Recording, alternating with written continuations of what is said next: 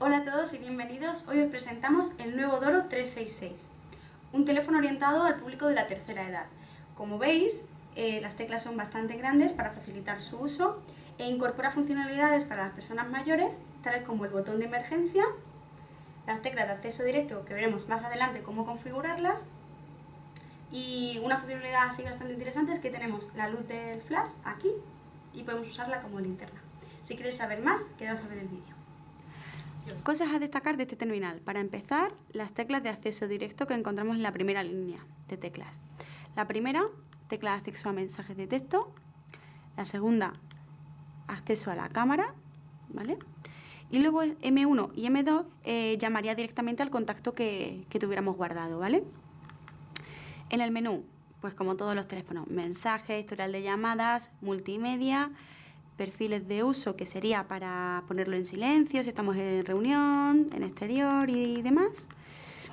Eh, luego dentro del organizador encontramos el calendario, calculadora, alarma y el administrador de archivos, que es para sobre todo ver las fotografías que tengamos disparadas desde la cámara. Eh, la conectividad sería solamente Bluetooth. Eh, y esto el ICE, que es una funcionalidad muy interesante, es para guardar perfiles médicos. Vamos a verlo. Aquí incluiríamos el nombre del dueño del terminal, fecha de nacimiento, altura y peso, seguro de salud, enfermedades y alergias, incluso el grupo sanguíneo.